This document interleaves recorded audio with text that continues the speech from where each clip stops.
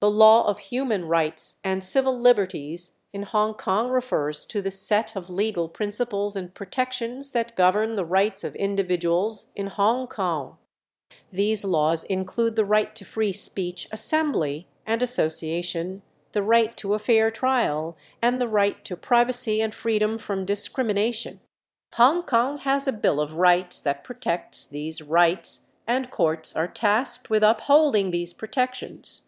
However, concerns have been raised regarding the erosion of these rights and freedoms in recent years due to political changes in the region.